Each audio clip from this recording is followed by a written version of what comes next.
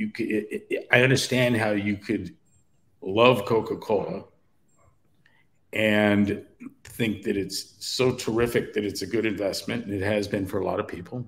We're not going to get anywhere saying that it doesn't taste good. That that that's that's I think a provable lie.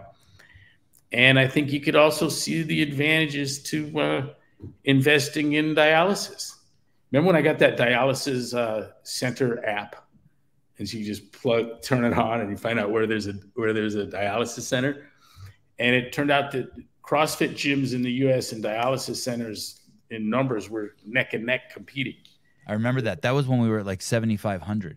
Yeah, and there was like there's like 7,500 uh, U.S. gym CrossFit gyms, and there's 7,500 uh, yep. dialysis centers. Then we started looking for where is there is there a CrossFit gym in a in a mall with a dialysis center, and indeed there are more than a few. But uh, like there's two dialysis centers at LAX. But the app's a trip. You could set it to ding when you drive by one. You just drive down through LA, the streets of LA, and you're getting a ding every couple of minutes.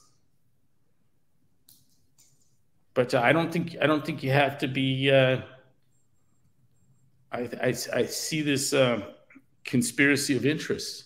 Yeah. Concept again. Hey, thank you.